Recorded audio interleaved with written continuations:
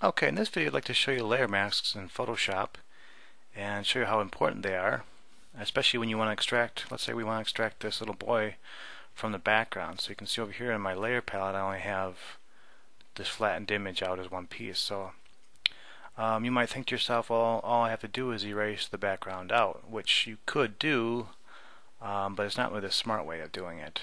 Um, and I'll show you why. So what I typically do is I'll copy the layer that I want to work on and just grab that copy and actually fill that a really bright color. So I'll make that like let's say a bright pink. You can hit Alt or Option Delete and then that layer is now filled in with a pink. And the reason why I want why I did that is because when I um, delete out these pixels around him, I'll be able to see the pink underneath. It just helps me see a little bit better of what I'm masking out. So now in order to turn this image into a mask, I gotta create this little button right here. And that brings up this uh, layer mask box. And uh, when you do that, you're only working in white to black values. you do not have any color options, which is um, why I'll uh, explain in a second here. So white basically means you're going to be bringing back the image at 100%, and black means you're going to be erasing out the image at 100%, and then in between is the different values. Let me show you how that works. So, whoops. If I zoom in here a little bit, let's say I was going to start up by his shoulder here. I take the paintbrush, and depending on what color I select here, if I check the the black now, even if I was to go into a color value here, it still shows up as a gray value. So I'll make sure that's at black. And if I start painting, now you can see the pink is showing through underneath. So basically I'm erasing out these pixels. Let me get the brush a little bit smaller here.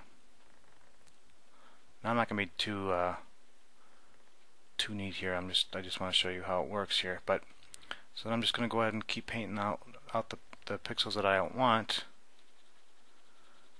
Now, what's nice about the layer mask is that let's say I go in here and I'm, I screw up. Let's say I got a lot going on here and I can't undo all this. All I have to do now is just switch my black to white and just paint over and I have the pixels reappearing.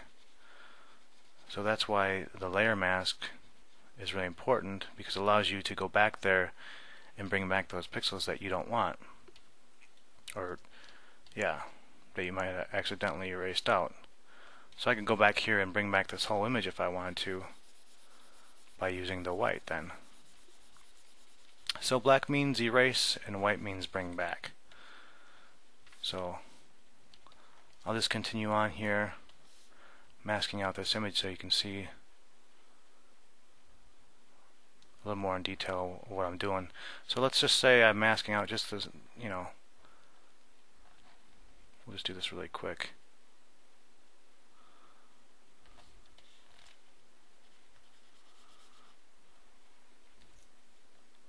Okay, so here I just masked out a, uh, a little area here, and then if I zoom out, you can see now the background is pink here. But let's say I just change this to a different color, so you can actually see that uh, it is showing the the background here. So if I go and fill this orange now, you can see the orange is showing up through the background. Um, and again, if you click on this, you have to click on the actual white area, white and black area here in order for it to work. So when I click over here and try to erase out these pixels, you can see that the orange is showing up. So we, we don't want to select the image, you want to actually select the layer mask layer right here. And that will show the black and, and white. So then if I want to bring that back in, I can just paint now and it'll actually bring back in the, the background. And that's kind of a real intro look at layer masks and uh, how to use them.